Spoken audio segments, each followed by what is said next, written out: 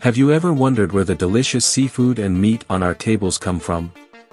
Many people may think of skilled fishing in distant seas or coastal fish farms. However, there is a whole new way of farming that may surprise you, fish farming in big boats. This method, unlike the traditional method, uses a very large ship as a breeding platform and puts small fish in the breeding chamber so that they mature before entering the market. In fact, this breeding method is no longer a theoretical idea, but has become a living reality. In China, the world's largest fish breeding ship, with a displacement of 130,000 tons, has been used. This ship is even three tons heavier than the US Ford, the largest aircraft carrier in the world. This huge ship has 15 large breeding tanks that can produce 7,400 tons of fish per year. However, what is confusing is that China is a coastal country and also has a lot of land. Lester Brown, director of the Worldwatch Institute, asked a thoughtful question, who will feed China? At that time, China was at the peak of its population growth, and the total number reached 1.4 billion people, which is almost one and a half times the entire population of Europe. Such a large population means a huge demand for food.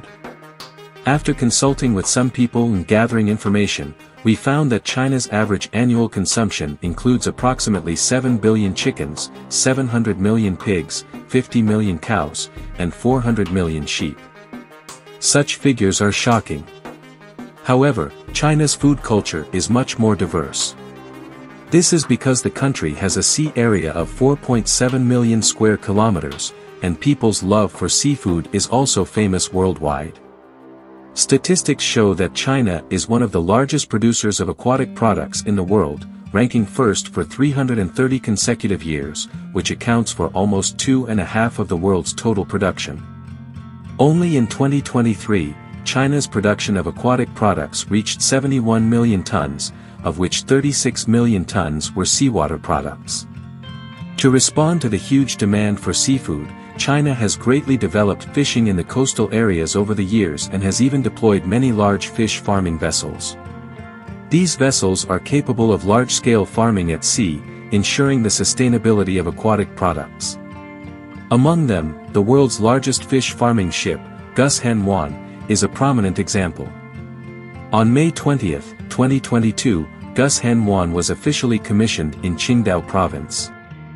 The ship is 250 meters long and 45 meters wide, with a total tonnage of 100,000 tons, which is even 3 tons heavier than the largest aircraft carrier in the world, the US Ford.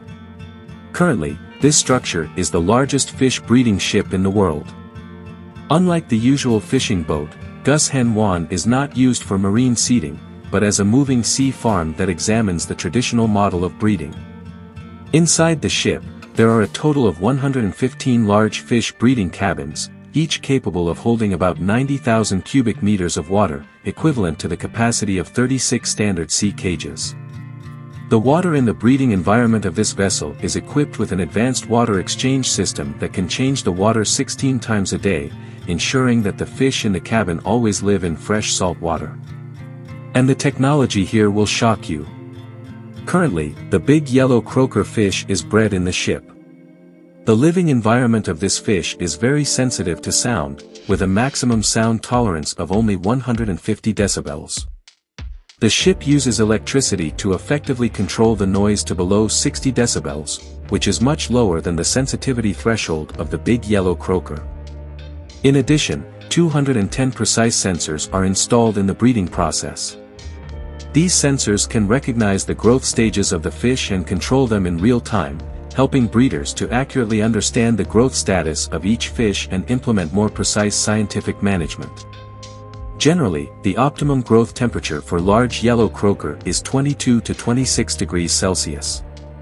To meet this requirement, engineers have simulated a rotating flow field to maintain the water speed between 2 and 10 meters per second.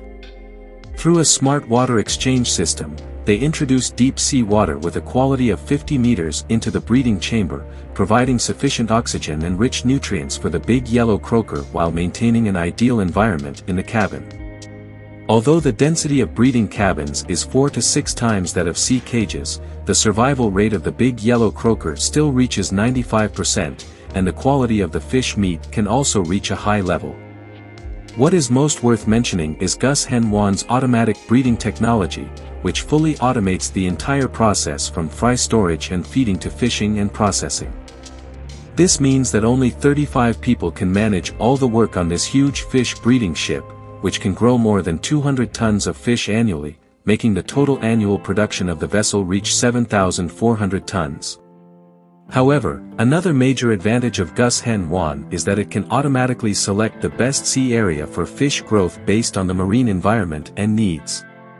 Slow breeding can not only avoid the effects of natural disasters such as typhoons but also ensure that the fish always grow in ideal water temperatures and environments. Thanks to the advanced technology and management methods of this breeding cycle ship compared to cage methods, the culture period has been shortened by a third, allowing for two rounds of efficient breeding annually. Gushen Wan also plans to breed high-value species such as grouper and salmon in the future to meet the diverse needs of consumers. Its annual production value is expected to reach 3 billion yuan, with a net profit of 600 million yuan after deducting expenses. However, the construction of a large-scale fish breeding vessel like Gushen Wan requires a significant investment and addresses many technical challenges. Despite these issues and the high costs, why doesn't China seed fish directly from the sea and grow them in the ocean? As we know, China currently has a huge population of more than 1.14 billion people, creating a substantial demand for seafood, especially swordfish. In 2018, China's annual catch of swordfish was over 1 million tons for several consecutive years. However, this catch has decreased significantly in recent years, falling below 1 million tons and forcing China to import large quantities of swordfish and other seafood. For instance, in 2022, China's total import of aquatic products reached 4.54 million tons, with an import value of 132.7 million yuan. To reduce costs and meet domestic seafood market needs, developing ship-based aquaculture has become an effective solution.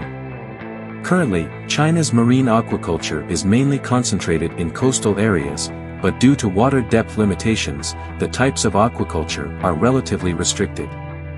However, the ship-based aquaculture method is the best current solution, as it can be adjusted flexibly according to market demand and sea area conditions.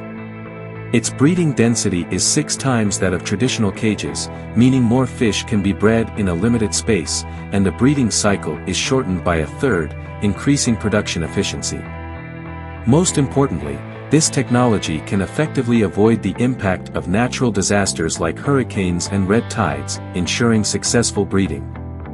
It cannot be ignored that, while the continuous improvement of fishing technology has significantly enhanced fishing efficiency, it has also greatly accelerated the consumption of marine resources.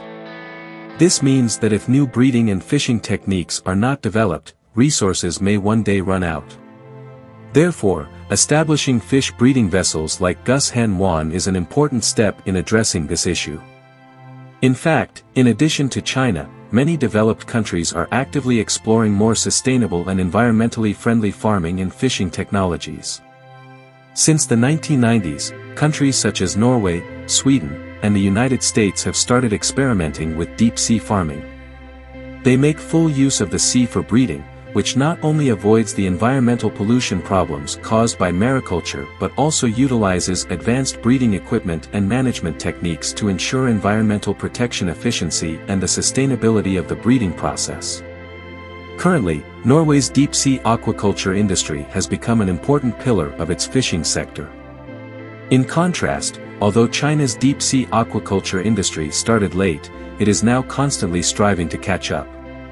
China currently has six other 150,000-ton aquaculture vessels in addition to Gushen Wan, which are equally advanced and environmentally friendly. Notably, Gushen Wan's annual production is expected to reach 8,000 tons.